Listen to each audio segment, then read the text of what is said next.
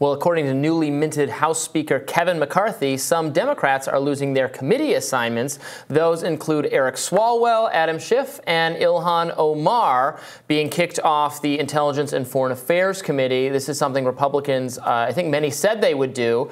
And here is uh, Representative Byron Donalds, who was one of the alternative candidates for Speaker, reacting on Joy Reid's show.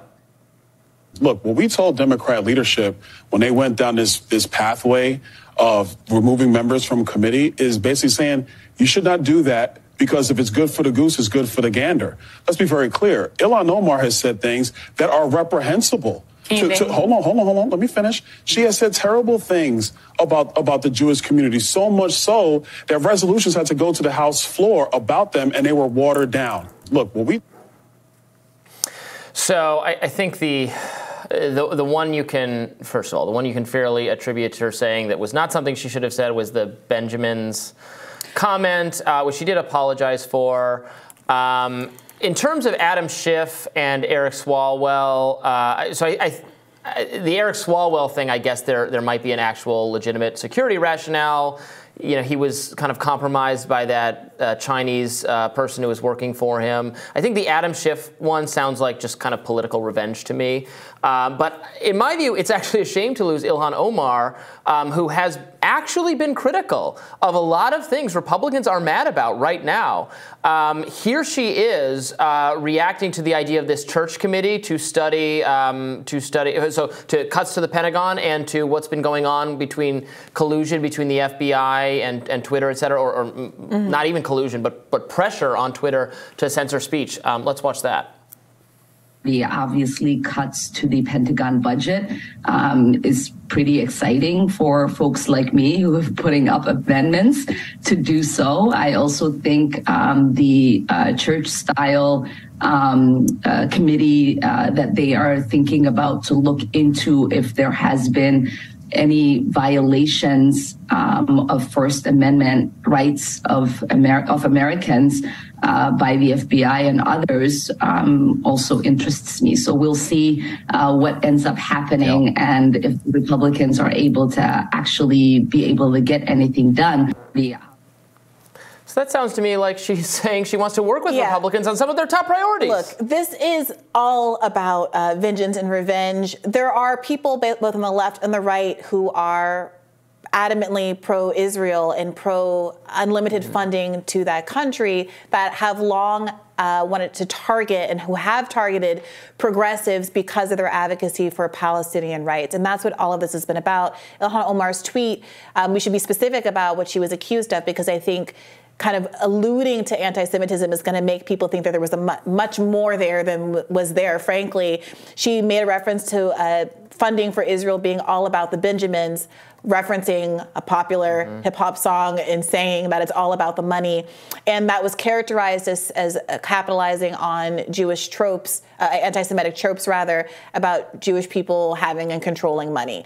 Uh, and this is something that people have gotten in trouble in with for a while uh, anytime, oftentimes, when you raise issues about funding for Israel, there is this implication, or, or, the, or these lobbying firms that have targeted, or lobbying PACs uh, that have targeted progressives. The implication is that you're doing it because they're Jewish and not because they are, in fact, Israel-backed lobbying PACs, super PACs that are attacking progressives. And it, there, there, there's a lot of mix up and confusion there. She has affirmed that she's not going to stop being critical of all of the, that money pouring out the door. But I think you're right. At the end of the day, she has demonstrated a willingness to be uh, aligned with conservatives on a lot of these military funding issues for in a way that is frankly in line with the tweet for which she got in trouble, but they're cutting off their nose to spite their face. Perhaps also because both the Republican and the Democratic Party are both very beholden to those same mm-hmm. lobbying interests in that uh, relationship with Israel. Yeah, but that's not. Uh, I agree with you. That's not what the base wants. Yeah. Uh, and I, on either side, um, they want uh, they want questions answered about. I mean, they don't support foreign aid to anyone. There's a bit. The base yeah. doesn't, you know, wants an America first. That's a, a, a bipartisan kind of a position that you know how are we investing in our own community we have all this money for for ukraine for other places that like the political figures are behind the times on all of that yeah um, and it's it's not a it's not a even a right. It's not a conserv. It's not a Republican Democrat issue for, for certain. It's in a, a, you know elites who think they know better, technocratic elites versus everybody else. Um, so I, I, think it was just as you said, um, very short-sighted to strip her of those committee assignments. Well, when she's saying things that like you could you could run in a Republican primary yeah. saying exactly those things that she was saying.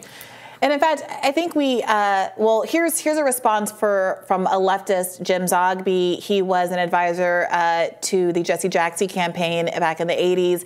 Uh, he tweeted uh, Speaker McCarthy's promise to remove Ilhan from the Foreign Affairs Committee is a continuation of the racist attacks targeting her since her election.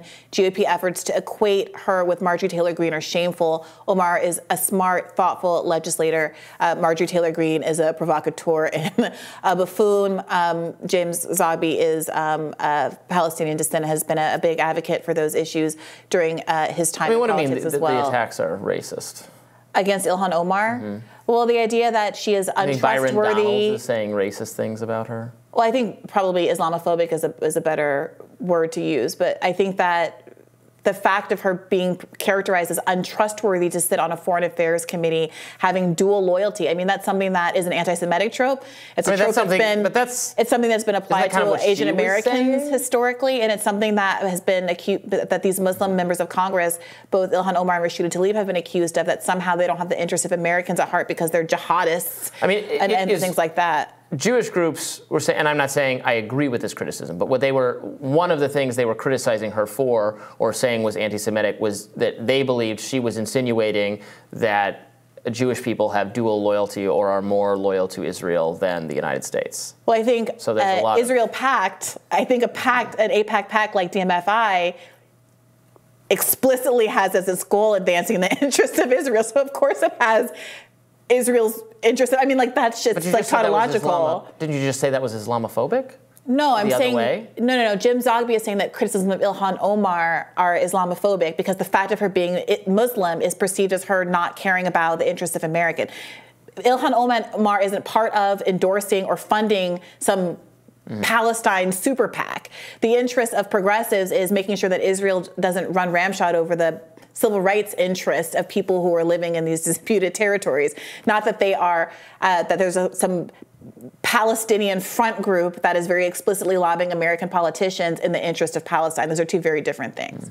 Um, and it's worth noting to extent that, that some of this seems to be very much about revenge against Ilhan Omar or these things that aren't related to her actually her actual policy prescriptions. To your point, Robby, I think we have another thought um, that has almost an express admission uh, uh, of that uh, motive. You know, I made another promise to you last time. There was this congresswoman, Ilhan Omar.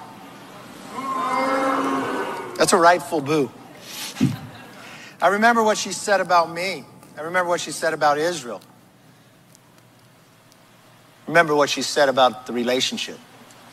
I remember it so much, I promised you last year that as Speaker, she no longer would be on foreign affairs. And I'm keeping that promise now.